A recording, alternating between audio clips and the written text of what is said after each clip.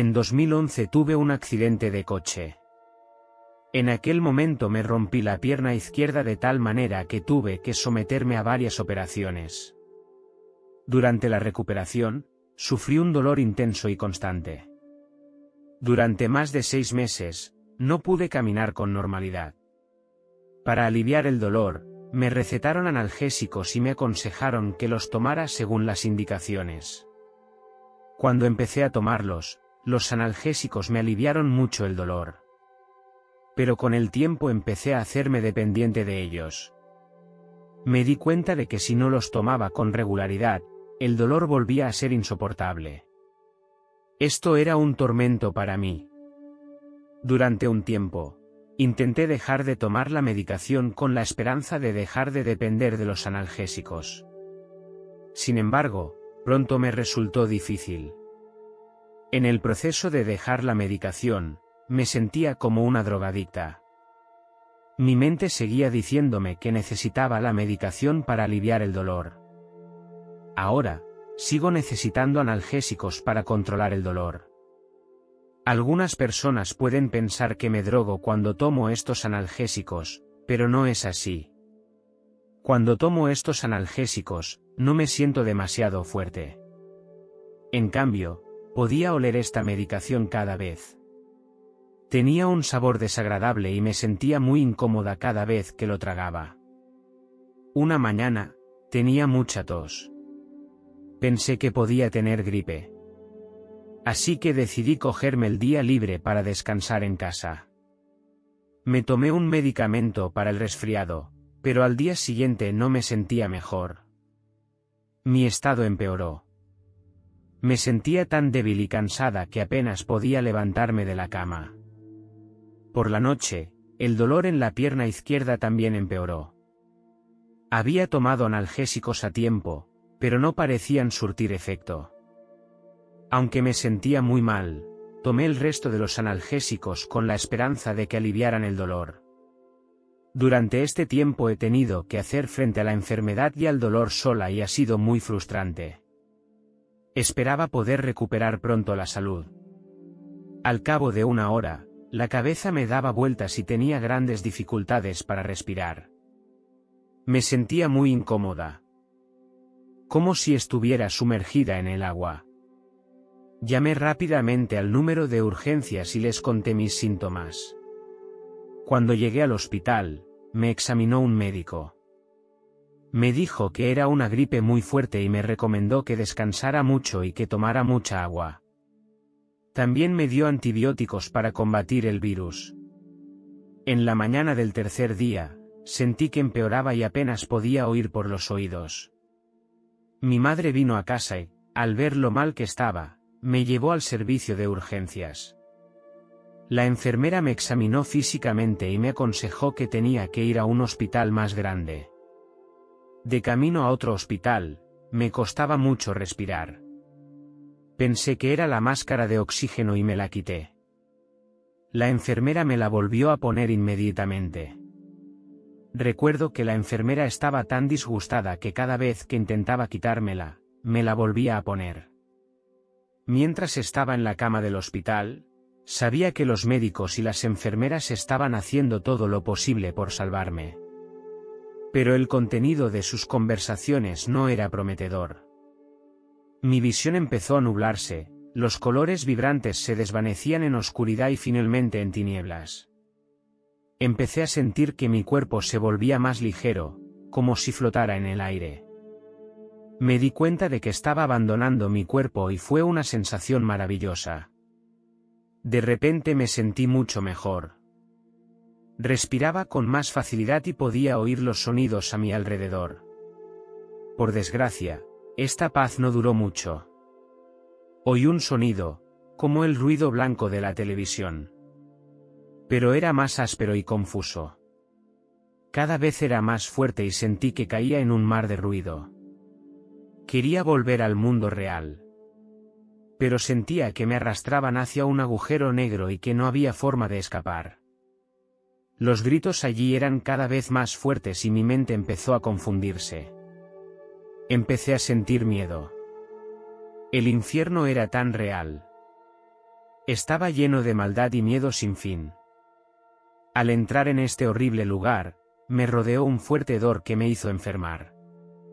Intenté respirar aire fresco, pero todo a mi alrededor era tan sucio y repugnante. A mi alrededor. Vi muchas cosas horribles. Las criaturas parecían serpientes y eran muy numerosas. Se enroscaban constantemente alrededor de mi cuerpo. Sus escamas rozaban mi piel y me producían hormigueo y malestar. Por más que luchaba y me resistía, no paraban. Era un ciclo interminable y no podía escapar de la tortura. Entonces volvía a aparecer en un espacio rojo. Al principio, el color era relativamente pálido, pero pronto el rojo empezó a oscurecerse cada vez más. Todo a mi alrededor era rojo, solo que en diferentes tonalidades. El olor a podrido impregnaba el entorno. Intenté encontrar la salida. Sin embargo, fuera donde fuera, no podía salir de aquel lugar. No había el menor signo de falta de vida en este mundo. No podía ver plantas ni animales, ni siquiera una pizca de viento. Era un mundo de silencio sepulcral que me hacía sentir abrumadoramente sola y desesperada. De repente, oigo gemidos de dolor y gritos de terror. Estos sonidos llenan mi entorno y me hacen sentir aterrorizada. Aquí, había una ola de calor en el aire, igual que la sensación que tienes cuando enciendes el horno. Caminé en la dirección de los sonidos e intenté encontrar a los demás. Solo oía gritos, pero no veía a nadie. Cada paso que daba era duro. Cuando llegué al borde de un acantilado, vi unos monstruos debajo. Sentí como si esos horribles monstruos me estuvieran esperando. Tenían la cara retorcida y los dientes afilados al descubierto. Intenté caminar alrededor de las bestias, pero cada movimiento que hacía las alertaba. Sentía que podían percibir mi miedo. Cuando me movía, sus ojos me seguían. Sentía que me devoraban el alma. El sonido de estos monstruos también es aterrador. Emitieron roncos gruñidos, como si estuvieran esperando a que cayera. Justo cuando me sentía desesperado, una luz brillante apareció sobre mi cabeza. Brillaba con una luz deslumbrante. Miré hacia arriba y vi un enorme ángel con sus enormes alas batiendo. Supe que me había salvado. El ángel me tendió la mano dispuesto a sacarme de aquí. La seguí y sentí una abrumadora sensación de paz y tranquilidad. Finalmente. Llegamos a un lugar precioso. El aire olía a flores y supe que me había salvado. El ángel se volvió hacia mí, me saludó con la mano y desapareció en la luz. Había llegado a un lugar donde no había sufrimiento ni dolor. Esto debería ser el cielo. De repente, vi a una joven. Caminaba hacia mí y llevaba una preciosa túnica blanca. Al acercarme, me sorprendí al ver que era mi abuela. Parecía tener unos 30 años. Mi abuela me dijo que aquello era el paraíso, un lugar libre de dolor y preocupaciones. Me acarició suavemente el pelo. Luego, me dio un cálido abrazo. Me dijo que mi misión no había terminado y que tenía que volver. Me aseguró que estuviera donde estuviera, ella estaría conmigo. Finalmente, desapareció en la luz. De repente, mi espíritu regresó al hospital. Me vi tumbada en una cama de hospital. Mi madre me cogía la mano con fuerza. Una y otra vez me decía, tienes que despertarte, no puedes dejarnos. Había preocupación en su voz. Sabía que estaba en grave peligro. Los médicos le dijeron a mi madre que mi vida corría peligro y que las posibilidades de sobrevivir eran muy escasas. Los médicos aconsejaron a mi madre que avisara a mis otros familiares para que se prepararan para lo peor. Mi cuerpo sufría una grave falta de oxígeno desde hacía varios días. Todos mis órganos estaban fallando y mi salud se estaba deteriorando. Al oír la noticia, mi madre rompió a llorar. Sentí su desesperación y su impotencia. Me di cuenta de que tenía que volver a mi cuerpo lo antes posible. Lo intenté muchas veces sin éxito. Cerré los ojos y empecé a confesarme con Dios, rogándole que me diera otra oportunidad. Al cabo de un rato, sentí que una oleada de energía se acumulaba en mi interior. Una luz brillante emanaba de mi alma. Esta energía me devolvía a mi cuerpo. Por fin estaba de vuelta en mi cuerpo. Mi respiración también se fue aclarando. Mi audición y mi visión también empezaron a volver lentamente a la normalidad. Cuando me desperté de nuevo. Era la tarde del día siguiente. El sonido de las máquinas llenaba mi entorno. Intenté incorporarme, pero aún me sentía débil. Llevaba una mascarilla de oxígeno y un tubo en la garganta. Con el tiempo, mi estado fue mejorando.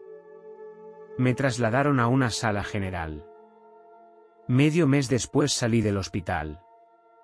Sigo preguntándome si habría podido volver aquel día sin la presencia de un ángel. Me di cuenta de que la vida era muy frágil. Empecé a prestar más atención a mi salud y a mejorar mi estilo de vida. Sabía que la presencia del ángel era el perdón y la misericordia de Dios para conmigo. En la primera semana tras recibir el alta hospitalaria, seguía sintiendo dolor en la pierna izquierda. Pero empecé a intentar contenerme y a no tomar analgésicos. Sin embargo, esos intentos pronto acabaron en fracaso. Cada vez estaba más ansioso e inquieto. Era incapaz de concentrarme e incluso empecé a preocuparme de que la enfermedad continuara. Fue entonces cuando conocí a la que hoy es mi esposa. Ella solía sufrir una grave dependencia del alcohol, pero con el tiempo consiguió dejar de serlo. Me dijo que necesitaba encontrar mi fuerza interior para dejar de verdad mi dependencia de los analgésicos. Después de hablar y pensar con ella durante mucho tiempo, fui comprendiendo el significado. Empecé a aprender a aceptar mi dolor y mis molestias en lugar de confiar ciegamente en las sensaciones que me producían los analgésicos. Empecé a aprender a utilizar otros métodos para aliviar el dolor, como la meditación y el yoga. Después de tres meses de duro trabajo, superé gradualmente mi dependencia de los analgésicos. Mi cuerpo empezó a adaptarse al dolor y me volví más fuerte y segura de mí misma.